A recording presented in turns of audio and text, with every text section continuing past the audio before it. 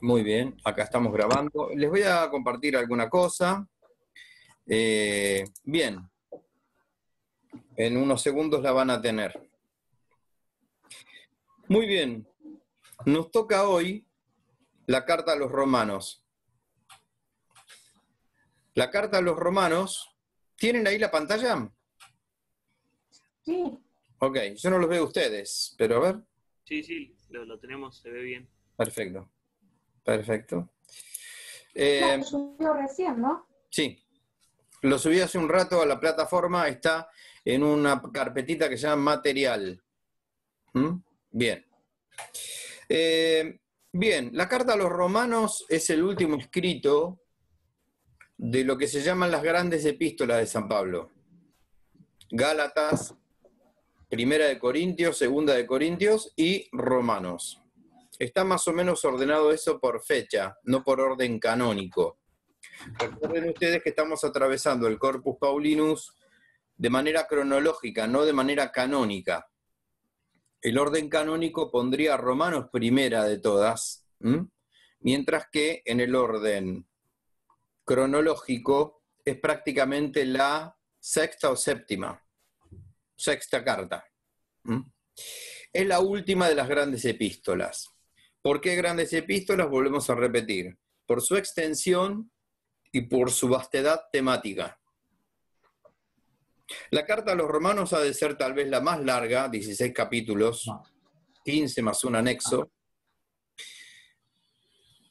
Y además la densidad doctrinal es la carta de Pablo, ¿sí? La carta que se podría dar un curso de un año.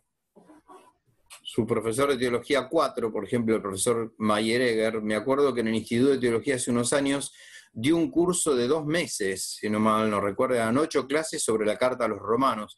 Eso en el, en el canal que él tiene lo pueden ver. Bien. Esta carta a los romanos eh, va a ser un poco la coronación o la culminación de la doctrina paulina de la justificación por la fe. Aquello que había esbozado San Pablo en la carta a los Gálatas, carta muy particular, muy pastoral, dirigida a una comunidad fundada por él, Galacia, nos va a encontrar ahora en la terminación de esa tesis doctrinal de que el hombre no se salva por las obras de la ley, sino por la justificación que viene por la fe en Cristo, muerto y resucitado. En esta carta a los romanos, Pablo va a, profundizar mucho más en esta doctrina. Primero porque está un poco alejado de aquel problema. Si bien la carta a los Gálatas no se puede datar con muchísima precisión, han pasado algunos años. Esta, carta a los romanos estaría datada más o menos en el año 58, en el invierno del 58 aproximadamente. Mientras que, mientras que la carta a los Gálatas se discute si es entre el 49 y el eh, 52, 53. Bueno, por otro lado, además de que ha pasado un poco el tiempo, Pablo ha madurado en un montón de aspectos, también tiene cierta lejanía pastoral esta carta. ¿En qué sentido? En que no es una comunidad fundada por Pablo, Roma. Roma es una iglesia que la tradición le adjudica la fundación a Pedro, pero tampoco tenemos a ciencia cierta ese dato. Es una comunidad más que nada petrina, y es lógico. Pero esta distancia, decía yo, pastoral, viene dada porque a Pablo no le da lo mismo escribir a sus ovejas, por decirlo de manera evangélica, que a ovejas que ha arrendado otros. Si bien la iglesia de Dios es la misma, en términos paulinos, es la iglesia de Dios que está en Roma, es la iglesia de Dios que está en Corinto, la iglesia de Dios que está en Filipos, la iglesia de Dios que está en Tesalónica, él tiene esa distancia respecto a estos romanos. ¿sí? Entonces, eso le permite estar un poco más calmado que la carta a los Gálatas. Ustedes se acuerdan que estaba bastante ofuscado y ofendido por los Gálatas. porque temía sobre todo que se pasaran, como él decía, a otro evangelio, distinto al de él. Bueno, yo les di un escrito, hará unas cuantas semanas atrás, que se llamaba El Señor y la Torá y Pablo y la Ley, o Pablo y la Torá. En ese escrito, que lo tienen subido a plataforma, ustedes tienen toda una serie de, citas, una investigación en base a citas que hice, tanto de Gálatas como de Romanos, respecto a este tema de qué papel cumplió la ley en el plan de salvación. No sé si vamos a poder verlo, me gustaría que ustedes sí lo estén viendo. ¿Sí? ¿Quién habla?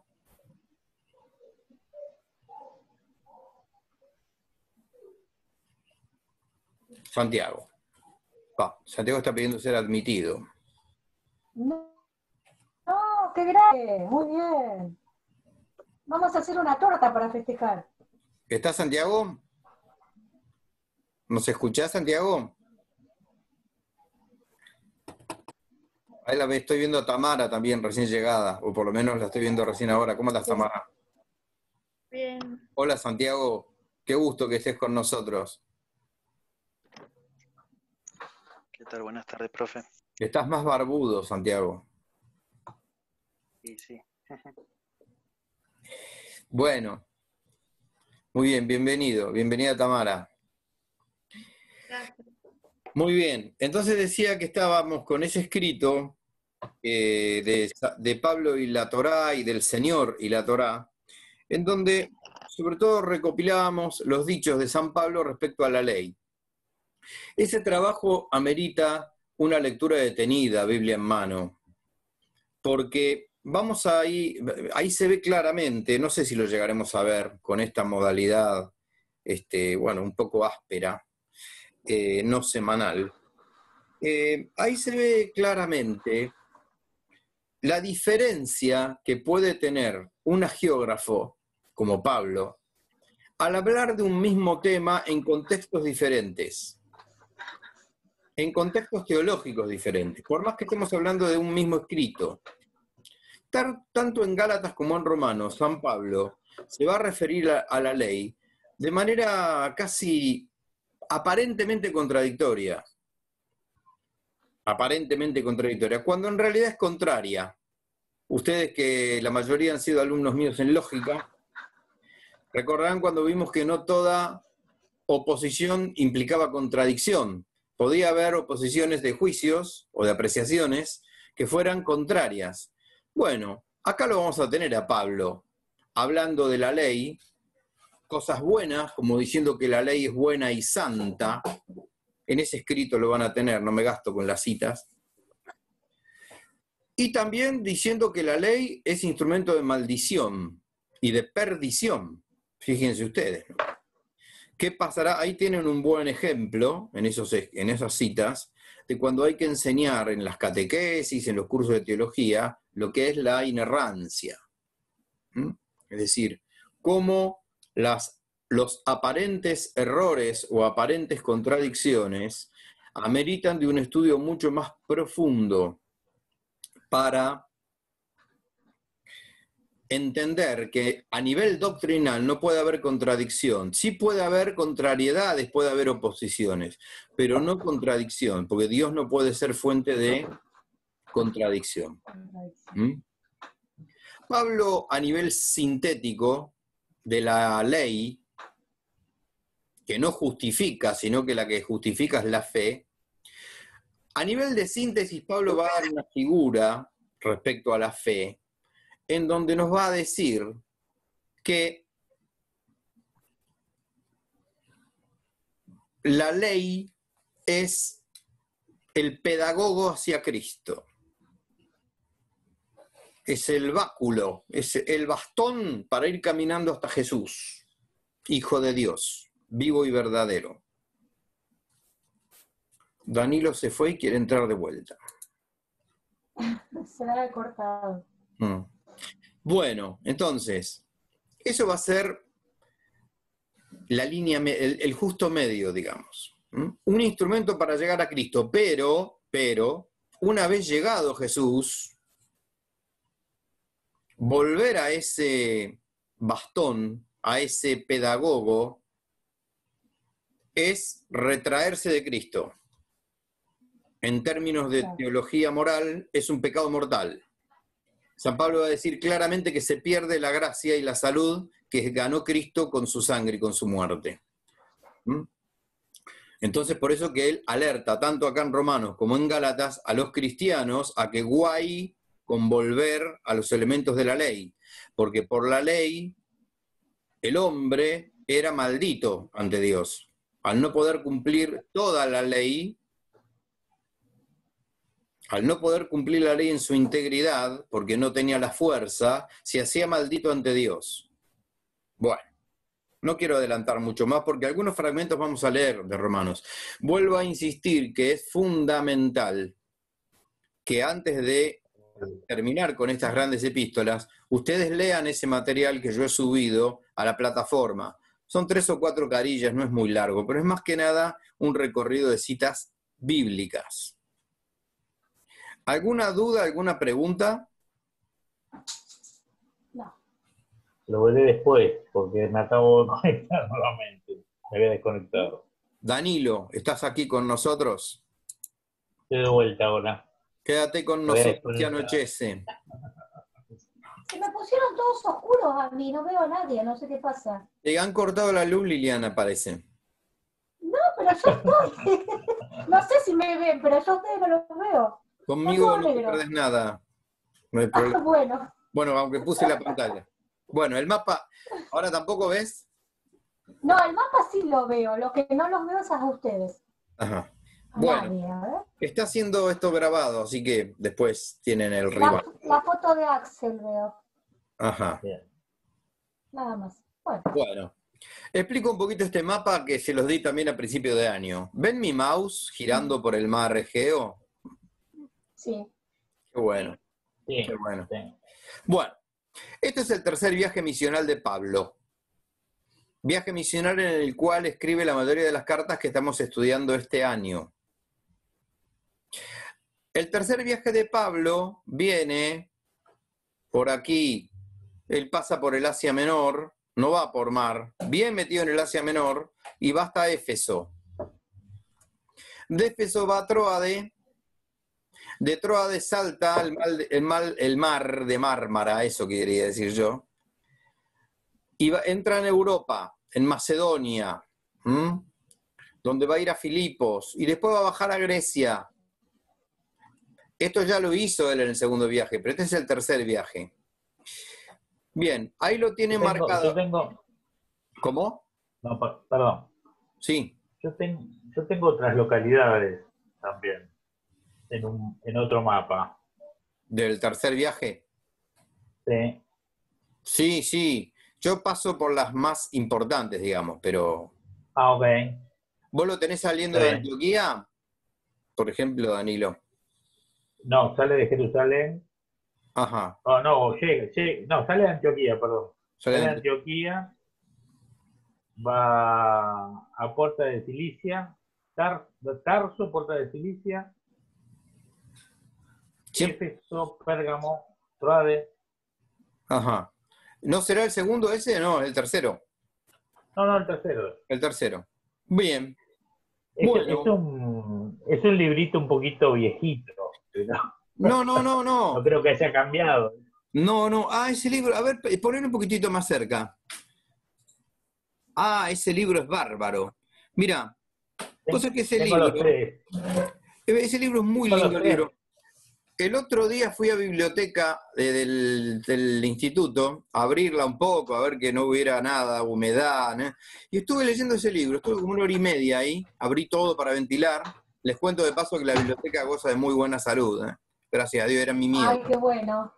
Y estuve con ese libro, es una colección muy linda, que resume un poco la historia de los primeros años del cristianismo, ¿no? Mediante citas sobre todo. Bueno, me lo regaló, me regaló el sacerdote que me casó, cuando me casó. Ajá. los, los tres libros. Mirá qué lindo. El, el antiguo, los evangelios y Claro. los hechos. Sí. Qué bueno. Qué bueno. Bueno, Pues digo, está un poco viejito. bueno, pero estamos Cumple, hablando de cumple casi 40 años. Sí, sí. No te creas que ha cambiado mucho el tema de la ruta. Lo que pasa es que la- las rutas de Pablo, las fuentes básicas son las de Lucas, en hechos. Pero algunos tramos están abiertos a la discusión porque Lucas ha, especificado algunas cosas. Lo que sí sabemos que hace, toca Éfeso primero. Si pasó muy por arriba o no tan por arriba, vos el itinerario que estabas hablando recién de Antioquía de, de Pisidia, todo eso sería casi la costa sur de Asia Menor. El gancho ese que yo puse ahí lo, eh, lo haría mm, ir un poquitito más arriba. Acá el gran interrogante en los movimientos de Pablo en el tercer viaje misional es el problema de Galacia, que no se sabe muy bien cuál es la iglesia de Galacia. Eso sí está totalmente discutido. Entonces algunos aventuran que la Galacia a la que se refiere Pablo es la del norte, que ahí la tengo con una cartita ahí arriba de todo. Y como él dice que estuvo tan enfermo que tuvo que desviarse, algunos suponen que este, este primer arco del tercer viaje no es tan por el sur, sino más bien por el norte. Pero son cosas discutibles. ¿sí? Cuestión es que el buen hombre llega a Éfeso. Sí. Desde Éfeso seguramente él ha escrito a los Gálatas, de ahí la flecha. Tal vez, tal vez les haya escrito a los filipenses, no se sabe. Porque es un viaje en cautividad, el, viaje eh, la carta a los filipenses. La cautividad también se discutió. Sobre todo a partir del siglo XIX se discute todo en Occidente, incluso esto. ¿no? Si, si la cautividad fue romana, efesina, bueno, son teorías. Lo que sí sabemos que de Éfeso él ha escrito la primera carta a los Corintios que nosotros estudiamos el otro día, está escrita de acá de Éfeso, mientras que la segunda carta a los Corintios está escrita desde Filipos.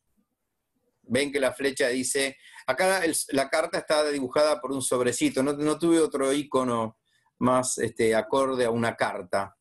No encontré un papirito ni nada por el estilo, es un sobrecito.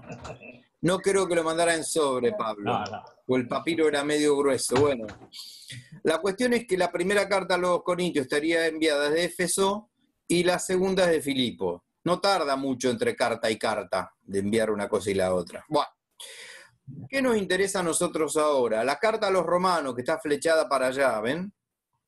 Acá está la cartita a los romanos. Seguramente está en Corinto. Seguramente está en Corinto por varias razones. ¿Mm? Muy bien.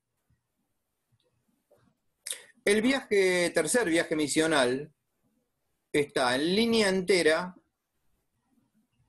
la ida y en línea punteada la vuelta. El punto de inflexión es Corinto. ¿Por qué Pablo vuelve por tierra y no vuelve por mar? Porque él en los otros viajes cortaba por acá y volvía. Pablo está organizando una colecta en este tercer viaje, una colecta para la iglesia de Jerusalén. En ese final de, de esa década ha habido una sequía muy grande en Palestina y hay una hambruna bastante importante. Entonces Pablo está en, todo el viaje de ida, les recomienda a las iglesias que vayan juntando dinero para que cuando él pase de vuelta, como en Filipo, como en Troade, como mismo como en Éfeso o en Mileto, ya tengan la plata juntada. Incluso él les dice, no esperen a que yo vuelva, junten antes. ¿Sí? Bueno, para que, para que fueran generosos. ¿Está? Bien. Eso a modo de introducción. Eso a modo de introducción. Bueno, vamos a hablar de alguna cuestión más desde el punto de vista, sí, antes de entrar a la carta, ¿no? Esta carta nos va a llevar unas cuantas clases, es una carta muy importante. ¿eh? Les recomiendo que la vayan leyendo, ¿sí? Es, no tiene desperdicio de nada, es la palabra de Dios, pero esta carta puntualmente nosotros vamos a leer algunos fragmentos, no todo. Bueno, decíamos que estaba escrita en Corinto, Pablo les manifiesta a los romanos que él pretende ir a visitarlos. No preso, todavía está libre. Él piensa volver a Jerusalén y hacer otro viaje en libertad, cosa que sabemos que no ocurre porque cuando llega a Jerusalén es arrestado y va a ir a Roma, pero va a ir cautivo. ¿m? Incluso les manifiesta que tiene ganas de ir incluso hasta España. No sabemos a ciencia cierta si llegó a España o no. La tradición no es muy específica en ese sentido. Los españoles, por supuesto, que dicen que Pablo fue a España, pero eh, no parece muy objetivo históricamente que digamos. Bueno, entonces tengamos en cuenta que esta comunidad no fue fundada por Pablo. Eh, más que una carta, esto es un gran tratado doctrinal, cuyo tema es la justificación por la fe. Es tal vez la carta que más va a influir en toda la teología cristiana. No solamente en la teología católica, sino en la desgraciadísima teología que generó la ruptura más grande de la historia de la iglesia, que es la del cisma luterano. Si hay, una, si hay un escrito bíblico con el cual Lutero pergenió sus más graves errores, fue esta carta. Fue esta carta a los romanos. Es un poco la, la piedra de tropiezo de Lutero es esta carta por aquello de tomar literalmente lo de el justo por la fe vivirá. San Pablo va a citar al profeta diciendo esto, y en esa traducción tampoco, tampoco muy feliz que Lutero hace al alemán, él le va a agregar lo que necesite a la Biblia y sacarle lo que él necesite a la Biblia. Entre otras cosas, a, este, a esta cita profética nuclear, el justo por la fe vivirá, Lutero, no contento con esto, le va a agregar la palabra solo. Entonces va a decir, el justo solo por la fe vivirá. Gravísimo error. Gravísimo error. Que lleva a toda esta doctrina de la sola fide, de la sola escritura, toda esa ruptura que Lutero hace con el cristianismo y sobre todo con la Biblia. Recuerden ustedes que Lutero va a sacar libros, sobre todo libros que no le convienen a su doctrina por ejemplo, la Carta de Santiago y otros más. Bueno. Acá Pablo no va a tratar de corregir abusos, como sí lo vimos en la primera a los Corintios, ni de poner en guardia a los cristianos de Roma contra este, infiltraciones judaizantes, como lo vimos en Gálatas y en la segunda a los Corintios que terminamos el otro día. ¿Se acuerdan ustedes que habíamos leído la apología de Pablo en la segunda a los Corintios, donde hace una defensa sumamente visceral y apasionada del apostolado?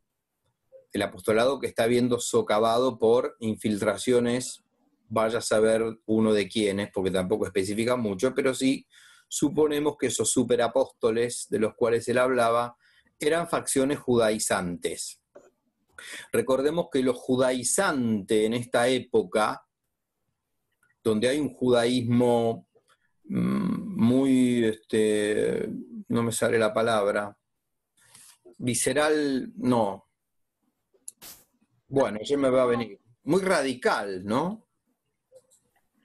Muy legalista. ¿Alguien decía algo? Perdón. No, yo dije. Ah, sí. acérrimo. Sí, muy bien, Tamara, ahí está. Muy acérrimo, muy virulento, muy acérrimo, muy bien. ¿Cómo destraba la inteligencia una palabra, eh? Y cómo la traba cuando no sale. Muy bien. Eh, ese, ese, esa tendencia judaizante era sumamente legalista, tal vez pseudo farisaica, y, trataba de imponerle al bautizado venido de la gentilidad toda la Torá. Toda la Torá. ¿m? Que era, a la época de Jesús ya era insoportable con la cantidad de prescripciones a observar en un solo día que tenía la Torá. Ya incluso eso el Talmud antes de Cristo, el Talmud ya lo denuncia del fariseísmo. Pero bueno. No trata entonces Pablo acá en la carta a los romanos de corregir abusos, no, porque sobre todo porque no es una comunidad de él. Bien, vamos a hacer una especie de síntesis de, la- de los temas más importantes que va a tener este casi tratado doctrinal, más que carta, dirigida a los cristianos de Roma. Esto um, lo voy un poco a dictar, si están tomando nota. Bueno, primero lo que decíamos, ¿no? La justificación por la fe. La justificación por la fe. Por otro lado, la obra redentora de Cristo y la fe en Él. Es decir, el efecto redentor de la fe en Cristo. El fruto redentor después de esa justificación por la fe. Otro temón enorme de esta carta, la universalidad del pecado y qué función específica cumple la ley de Moisés. Esa universalidad del pecado va a ser importantísima para toda la doctrina bimilenaria de la Iglesia. Otro tema, como fruto de la justificación, la libertad cristiana y la vida del espíritu. ¿Preguntas? ¿Dudas? Creo que perdimos a Liliana. ¿Me escuchan? Sí, yo sí. Yo hablé de la libertad cristiana y se tomó la libertad de irse, me parece, Liliana. No, ya va a entrar. Ya va a entrar, pobre. La libertad cristiana y la vida del espíritu. ¿Estás, Liliana?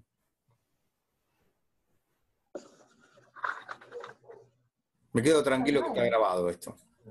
Se quedó congelada. Bueno. Bueno, sigo. Las promesas hechas a Israel y el papel de este, de Israel, en la historia de la salvación. Sobre todo eso en el capítulo 9. La promesa, las promesas hechas a Israel. ¿Y qué papel cumple Israel en esta historia de la salvación? Un papel paradójico, sin duda. Sin duda. Bueno. Temprano para una cosa y tarde para la otra, porque quedan cinco minutos de esta primera fase y yo tendría que empezar ya con un tema lindo, amplio. Entonces, ni bien le demos la, la bienvenida a Liliana otra vez, vamos a bajarnos de esta sesión. Ahí estás, Liliana. Sí, ahora sí. Los había dejado de escuchar. Ahora los veo y los escucho. Bueno. Nosotros no te vemos. Ahora sí. Estoy yo también. Estamos todos completos. Bueno, ahora te tenés que desconectar. Bueno, Y bueno. en realidad te estamos No, esperando no para... No, vamos a hacer esto. Nos bajamos. Lo que pasa es que faltan cinco Sí. minutos, no es poco, pero tengo que empezar con un tema medio, medio denso antes de entrar en la carta. Entonces yo prefiero que cortemos acá y subimos otra Bueno. vez con el mismo link. ¿Todos tienen el link a mano, Santiago? ¿Sí? Bueno, bajamos y subimos, ¿sí? Listo. Ok.